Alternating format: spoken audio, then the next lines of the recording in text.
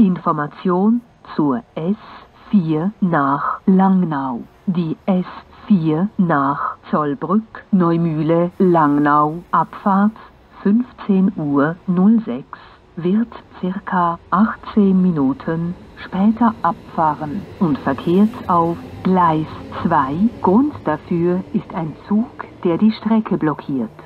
S 44 nach Lützelflü Goldsbach, Hasle Rüegsau, Bern, Thun, Abfahrt 15.30 Uhr Gleis 1.